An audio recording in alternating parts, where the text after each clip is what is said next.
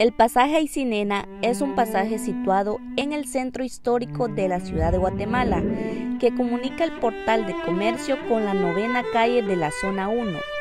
Se construyó entre los años 1891 y 1894 por Francisco Aicinena.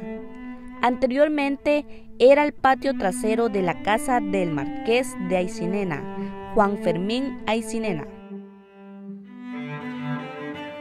El pasaje Aicinena es una obra neoclásica construida por el arquitecto don Luis Monzón, cuyos trabajos se iniciaron el 11 de febrero de 1891 y fueron terminados en marzo de 1894.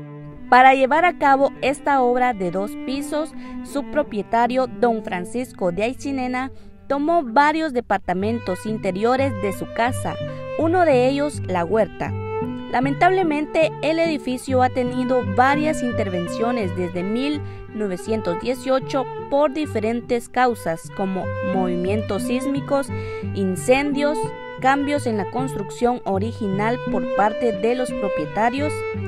Entre los comercios de la época se puede mencionar sastrería, barbería, oficina de representaciones, cafetería, bar, almacén de perfumería, taller de reparación de refrigeradoras.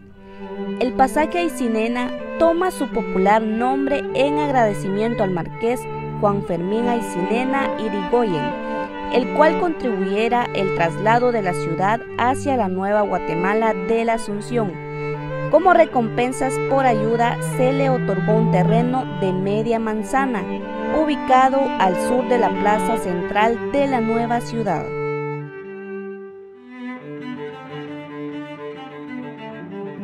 En Guatemala solamente existen tres pasajes con similares características arquitectónicas y diseñadas con una función comercial y habitacional.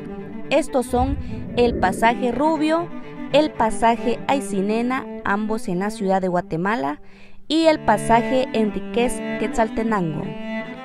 Estos conducen de una forma rápida de una calle a otra, tienen tiendas en sus fachadas y en el interior de un patio central una cubierta transparente.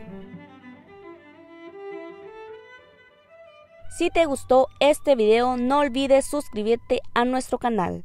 Soy Gracie Tecún y nos vemos en un próximo video. Adiós.